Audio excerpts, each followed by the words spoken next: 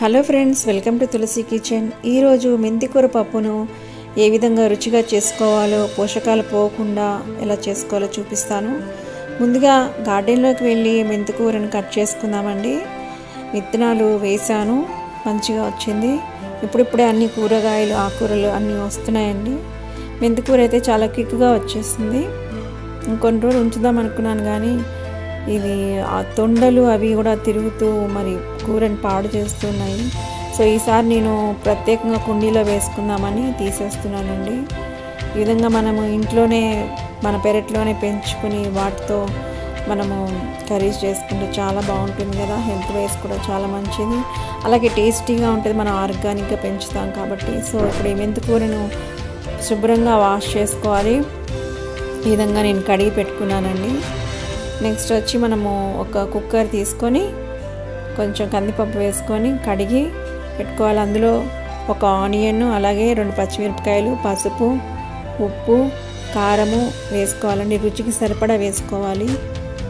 Next వచ్చి రెండు tomato ముక్కలు కట్ చేసుకొని వేసుకొని ఒక త్రీ ఫోర్ విజిల్స్ వచ్చే వరకు మనము కుక్కర్ పెట్టుకోవాలండి. త్రీ ఫోర్ విజిల్స్ తర్వాత మనము ఒక ప్యాన్ తీసుకొని ఆయిల్ వేసుకొని మరి తాలింపు వేసుకోవాలండి. తాలింపు కోసం ఆవాలు జీలకర్ర మరి స్మాష్ చేసుకున్నటువంటి మరి గార్లిక్ అలాగే ఎండుమిర్చి కరివేపాకు అలాగే ఇంగువ కూడా వేసుకొని పోపు దినుసులు వే ఫ్రై అయిన తర్వాత మనం కడిగి పెట్టుకున్న మెంతు కూరను ఫ్రై చేసుకోవాలండి. ఒక మీడియం ఫ్లేమ్లో పెట్టి ఫైవ్ టు టెన్ మినిట్స్ పచ్చిదనం ఆకులో ఉన్న పచ్చిదనం పోయే వరకు వేయించుకోండి.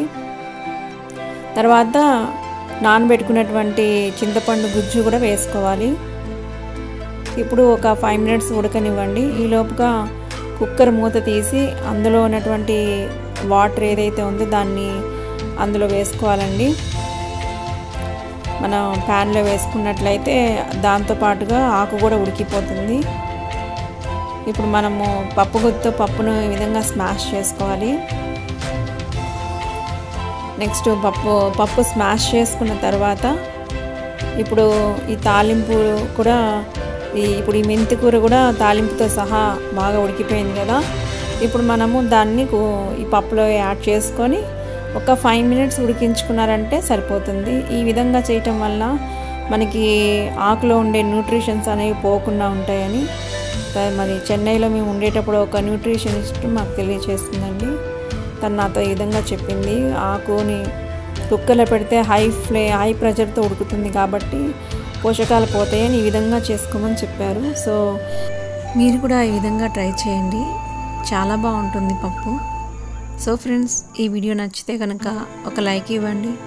అలాగే మరిన్ని వీడియోస్ చూడాలనుకుంటే కనుక నా ఛానల్ని సబ్స్క్రైబ్ చేసి సపోర్ట్ చేయండి. Thank you for watching friends.